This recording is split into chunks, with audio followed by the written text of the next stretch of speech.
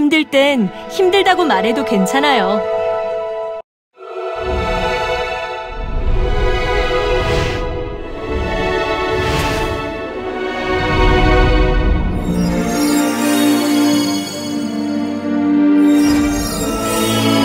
진심은 언제나 통하기 마련이에요.